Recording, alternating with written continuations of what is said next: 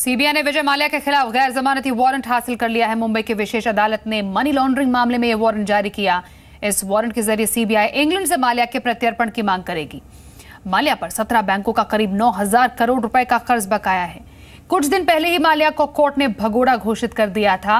इस साल जुलाई में मनी लॉन्ड्रिंग मामले में माल्या स्पेशल कोर्ट में पेश नहीं हुए थे।